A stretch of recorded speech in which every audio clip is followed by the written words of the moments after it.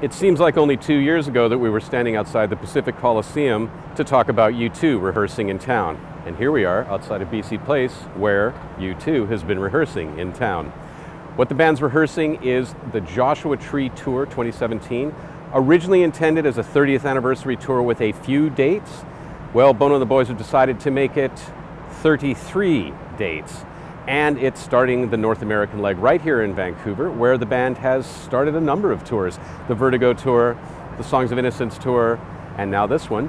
And they usually practice here too. In fact, the band has a great relationship with Vancouver.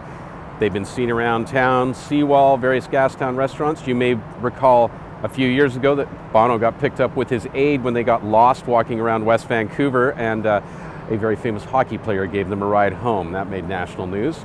And this tour will probably make national news too. It's going to be a big deal because they're playing the Joshua Tree from start to finish. Now, why would they choose this album from 1987 over all the other albums they've presented?